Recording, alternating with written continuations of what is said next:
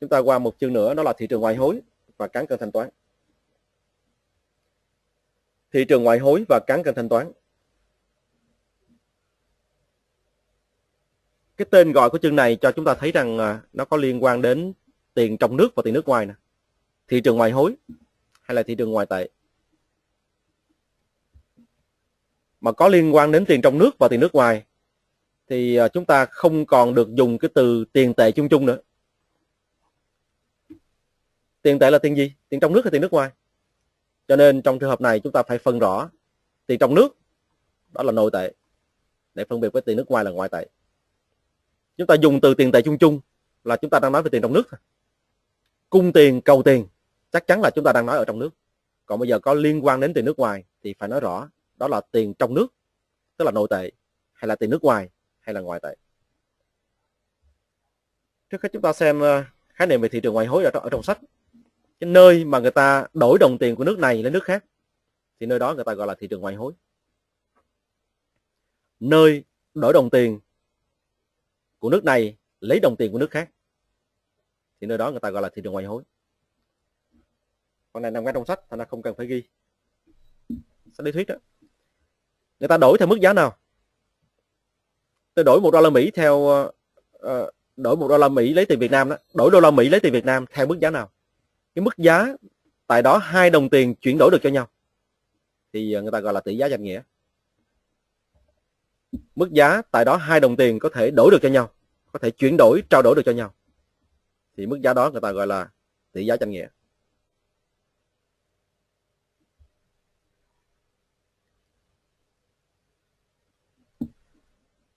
Như vậy thì ờ, tỷ giá danh nghĩa đó là cái mức giá mà chúng ta trao đổi hai đồng tiền hẳn nhiều mức đã gọi là giá thì có lúc lên lúc xuống đúng không?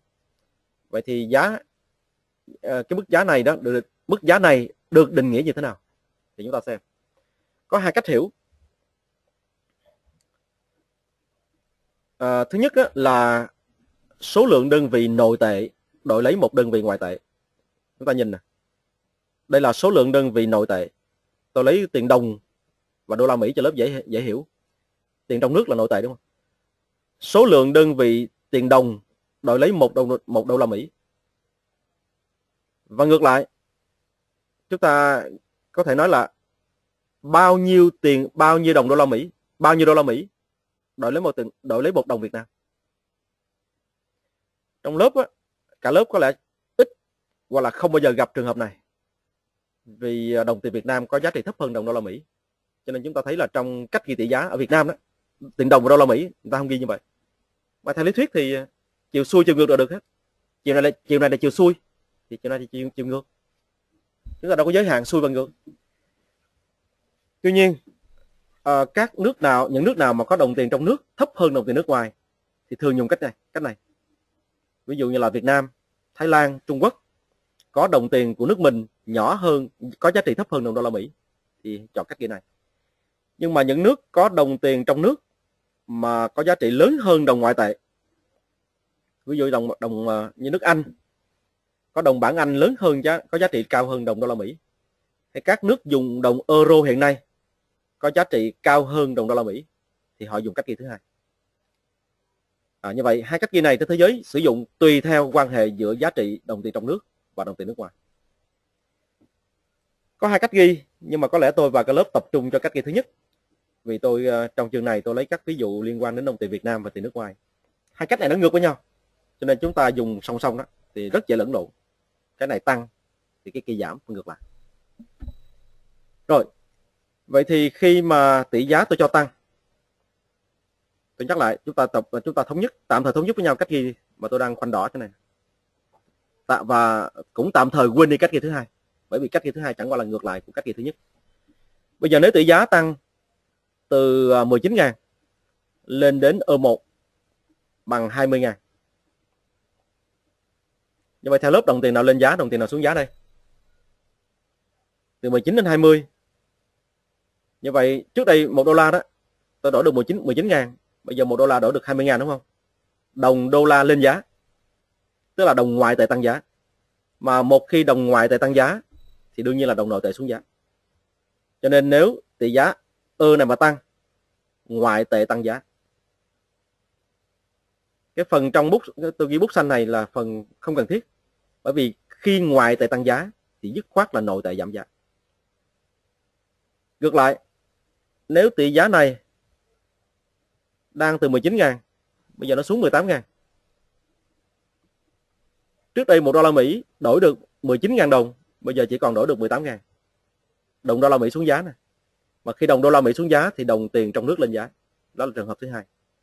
Tỷ giá ơ giảm, đồng đô la giảm giá, đồng tiền Việt lên giá. Thì hai trường hợp này nó ngược với nhau. Với điều kiện chúng ta thống nhất với nhau ơ này là gì? Là cách ghi thứ nhất thôi. Chứ nếu mà chúng ta dùng cách ghi thứ hai thì nó ngược hoàn toàn. Rất khó chịu và rất dễ lẫn lộn. Chúng ta xem à, thế nào là cung và thế nào là cầu ngoại tệ. Cung ngoại tệ nghĩa là lượng ngoại tệ cung ứng cho thị trường. Nó xuất phát từ đâu? Xuất phát từ hai nguồn sau đây cái nguồn thứ nhất là xuất khẩu. Chúng ta xuất khẩu hàng hóa ra nước ngoài càng nhiều, chúng ta thu về ngoại tệ càng nhiều thì làm cho lượng cung ngoại tệ càng tăng. Thứ hai là nước ngoài đó, đầu tư trực tiếp hoặc gián tiếp vào trong nước.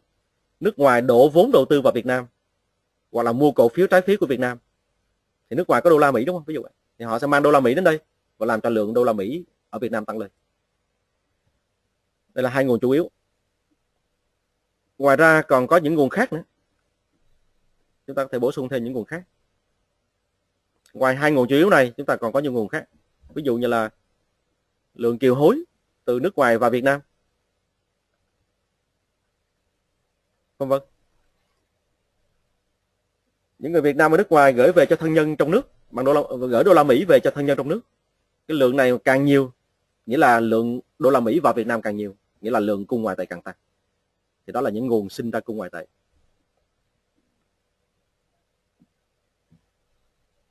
Một vấn đề đặt ra ở đây là tỷ giá đó, nó có ảnh hưởng gì đến ờ, đến lượng cung ngoại tệ hay không? Thì câu trả câu trả lời rằng là có. Tôi lấy một ví dụ trong sách.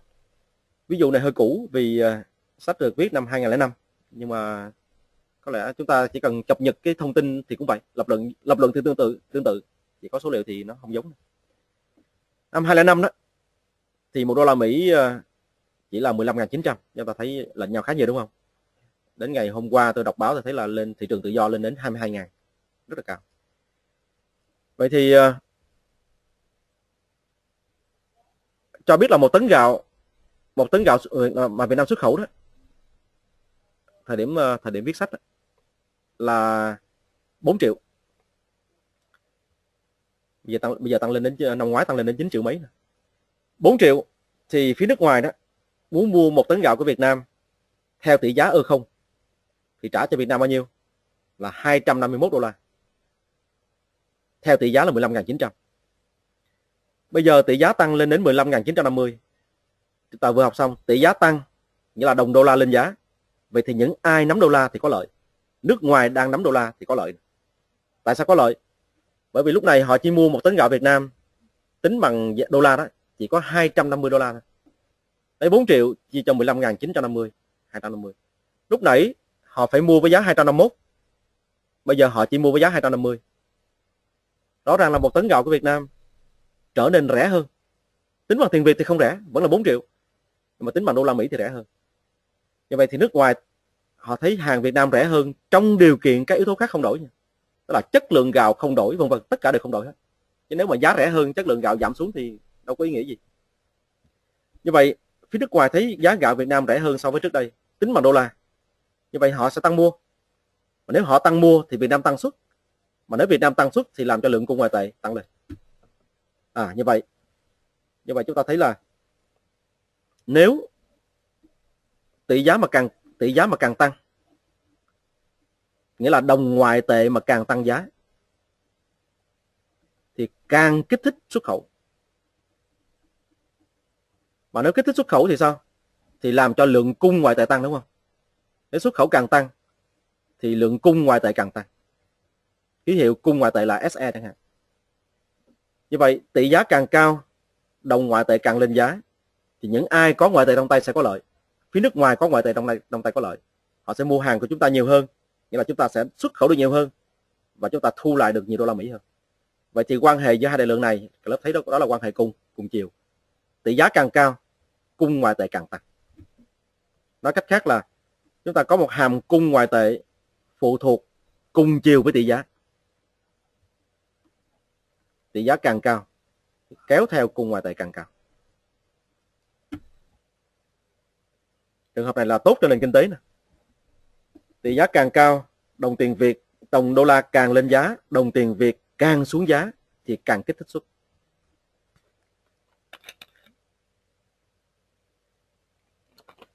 Chúng ta đọc báo thấy ờ, chính phủ ờ, sau Tết ngân hàng trung ương, ngân hàng nhà nước Việt Nam đó, điều chỉnh tỷ giá đồng đô la liên ngân hàng đó, tỷ giá liên ngân hàng, tỷ giá liên ngân hàng tăng báo chí tăng à, đăng đó tăng 9, mấy phần trăm đó 9,3 phần trăm. Thì các nhà xuất khẩu ở Việt Nam mừng. Nhưng mà các nhà nhập khẩu thì sao? Lo lắng. Tại vì uh, tỷ giá càng tăng đồng đô la Mỹ càng tăng giá đồng tiền Việt càng xuống giá thì nhập khẩu càng bất lợi. Một nhà nhập khẩu thép ví dụ nhập một tấn thép trước đây là 1.000 đô la Mỹ. Trên một tấn thép nếu theo tỷ giá là 19 ngàn đồng cho đô la Mỹ, thì họ chỉ cần có 19 triệu thôi. Nhưng mà nếu tỷ giá lên đến 20 ngàn, thì 1 ngàn đô la Mỹ một tấn thép, bây giờ phải ờ, nhà nhập khẩu đó, phải chuẩn bị tiền Việt đến đến 20 triệu luôn. Và tỷ giá tự do hiện nay lên đến 22 ngàn, phải mất 22 triệu cho một tấn thép, so với lại 19 triệu trước đây. Như vậy nhà nhập nhà nhập khẩu bất lợi nhưng mà nhà xuất khẩu thì có lợi bởi vì hàng Việt Nam trở nên rẻ hơn khi quy về đô la Mỹ. Trở lại đó là về cung. Bây giờ chúng ta xét về cầu. Cầu thì ngược lại. Khi nào tôi và cả lớp cần ngoại tệ chúng ta cần ngoại tệ khi chúng ta muốn nhập hàng từ nước ngoài. Hay là chúng ta muốn đầu tư ra nước ngoài. Người một nhà một người Việt Nam muốn đầu tư ra nước ngoài muốn, muốn mở một nhà máy bên Mỹ thì phải ờ, phải cần đô la Mỹ đúng không? Phải có đô la Mỹ để đầu tư vào Mỹ, hay là muốn mua cổ phiếu trái phiếu của nước ngoài không vậy như vậy đây là hai nguồn hai nguồn ờ, chủ yếu về cầu ngoại tệ. Ngoài ra còn có những nguồn khác giống như lúc nãy. Chúng ta cần ngoại tệ để làm gì? Một số những ờ, những ờ, những bậc cha mẹ có con cái cho ra nước ngoài du học thì cần phải có ngoại tệ. Như vậy lượng việc, lượng du học sinh mà ra nước ngoài càng nhiều thì à, lượng cầu ngoại tệ càng tăng.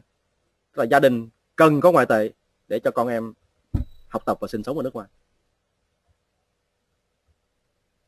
Như vậy đây là những nguồn tạo nên một lượng cầu ngoại tệ, tức là tạo nên một lượng ngoại tệ người ta cần.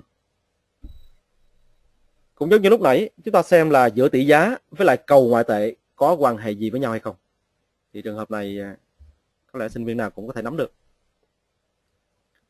Bây giờ trường hợp chúng ta lấy tỷ giá tỷ giá giảm. Tỷ giá giảm nghĩa là đồng ngoại tệ giảm giá. Thì chúng ta xem nó kích thích gì.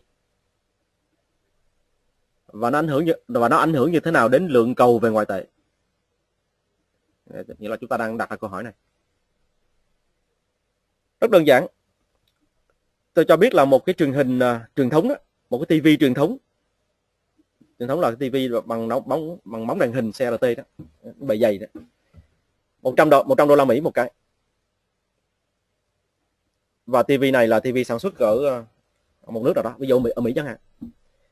Thì cái tivi này nhập về Việt Nam nếu mà theo tỷ giá là 19 ngàn đồng cho đô la Mỹ thì một người Việt Nam muốn mua cái tivi này chỉ cần trả bao nhiêu? 1 triệu chín. Bây giờ tỷ giá này xuống 18 ngàn chúng ta đang xác tỷ giá giảm đúng không? Xuống 18 ngàn. Tỷ giá giảm xuống 18 ngàn thì cái tivi này vẫn là 100 đô la Mỹ. Về đô la Mỹ thì nó không giảm đồng nào hết. Nhưng mà tính, tính bằng tiền Việt đó tôi chỉ trả 1 triệu 8 thôi. Chúng ta học trong ờ, kinh tế vi mô chúng ta thấy là giá mà càng rẻ thì người ta càng tăng mua. Như vậy trong trường hợp này tôi thấy là mua tivi này có lợi nè. Vì hôm qua tôi trả một triệu phải trả một triệu chín. Còn hôm nay tôi chỉ trả trả một triệu tám. Như vậy tôi sẽ tăng mua nếu tôi tăng mua thì các doanh nghiệp Việt Nam sẽ tăng nhập khẩu chiếc TV này về để bán lại cho dân cho dân chúng. Tức là sẽ kích thích nhập khẩu. Mà các doanh nghiệp khi tăng nhập khẩu mặt hàng TV này về bán lại cho người dân đó, thì họ cần một lượng ngoại tệ nhiều hơn. Tức là họ làm gia tăng lượng cầu về ngoại tệ.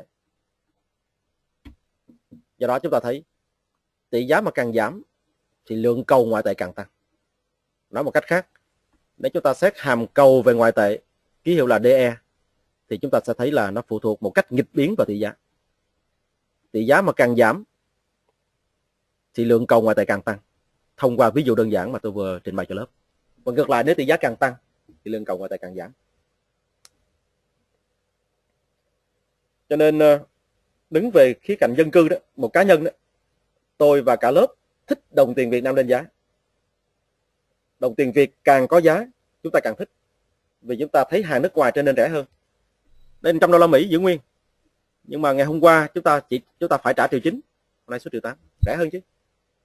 Nhưng mà trên góc, đứng trên góc độ vĩ mô đó, thì điều này không tốt. Chúng ta nhớ lại bài học ngày hôm qua, khi à, nói về GDP GDP là bằng gì? C đúng không? C cộng Y cộng G cộng X. Nhưng mà trừ cho gì? Trừ cho M bây giờ ờ, nếu mà dân chúng mà thích nhập khẩu, tăng nhập khẩu thì em mà tăng. Em mà càng cao mà trước đó có dấu trừ thì làm cho GDP càng càng giảm. Thành ra đứng trên góc độ vĩ mô đó, nhập khẩu càng nhiều thì sản lượng trong nền kinh tế càng đi xuống, càng không tốt. Cho nên chính phủ lúc nào cũng vậy, cố gắng hạn chế nhập và kích thích xuất. Mà muốn kích thích xuất thì phải làm cho đồng tiền trong nước giảm giá. Trên thế giới này, nước nào cũng vậy, kể cả Mỹ, cả Nhật, cả Trung Quốc đều muốn làm cho đồng tiền trong nước giảm giá so với đồng, đều muốn làm cho đồng nội tệ giảm giá so với đồng ngoại tệ. Để làm gì? Để đẩy mạnh xuất khẩu. Cho nên tóm lược lại, chúng ta nắm tốt cho tôi bản này nè. Bản này ờ, đơn giản nhưng mà cố gắng nắm được càng ờ, nắm được chặt chẽ càng tốt. Tỷ giá càng cao, ngoại tệ tăng giá kích thích xuất tốt tỷ giá càng giảm, đồng ngoại tệ giảm giá kích thích nhập không tốt. Kích thích xuất thì làm tăng lượng cung ngoại tệ. Kích thích nhập thì làm tăng lượng cầu ngoại tệ. Nếu chúng ta muốn gắn với lại cung và cầu ngoại tệ mà chúng ta vừa xét